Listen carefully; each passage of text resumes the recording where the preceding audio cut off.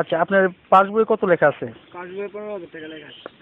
তা আপনি পনেরো হাজার টাকা তুলছেন আপনি নয় হাজার টাকা কীভাবে নিলেন? আপনি তো কম দিল এরা। আমি একটু বেশি বাদ পড়ছি মানে আমি এমনি গরিব গরিব কিন্তু এখন টাকার দরকার আছে আমার বাবা অসুস্থ। এই জন্য আমার বাবারও কিছু চিকিৎসার দরকার তারপর আমার চলাফেরা একটু কষ্ট হইতেছে মা বাপকে নিয়ে। এই জন্য ওটাকে আর কি বিপদে পড়ে আর কি যে ব্যাংকের লোকটার নাম কি বলছেন আপনি? মতিন সাহেব আর